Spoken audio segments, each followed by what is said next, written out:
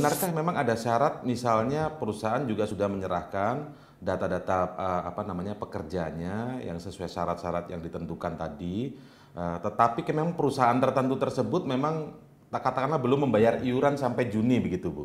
Karena ada persoalan juga terkait dampak Covid ini juga gitu. Itu bagaimana nasib pekerjanya apakah tertahan juga uh, apa namanya bantuan BSU-nya ini atau seperti apa? Iya, kami menyadari betul bahwa pandemi COVID ini banyak sekali teman-teman uh, pengusaha yang memiliki kendala fiskal, memiliki kendala keuangannya untuk membayar iuran. Betul.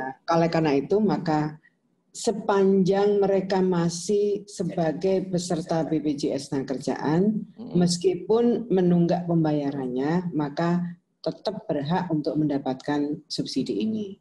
Justru, justru dalam pandangan kami mereka adalah mereka adalah yang uh, yang yang perlu dibantu sebenarnya hmm, hmm, hmm. karena membayar iuran aja mereka mengalami masalah kan. Jadi oleh karena itu maka sepanjang mereka masih sebagai peserta BPJS tenaga kerjaan ya. meskipun menunggak maka tetap berhak.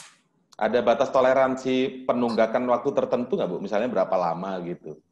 Uh, ya sepanjang mereka masih aktif loh kita sepanjang masih aktif belum diberhentikan kepesertaannya kita sudah nggak ngelihat lagi. Apalagi kan sebentar lagi pemerintah juga. Misalnya ada yang nunggak memang dua bulan atau tiga bulan sejak COVID begitu bu. Misalnya sejak April udah mulai ya. kerasa kan awalnya ya. Maret ya. kan.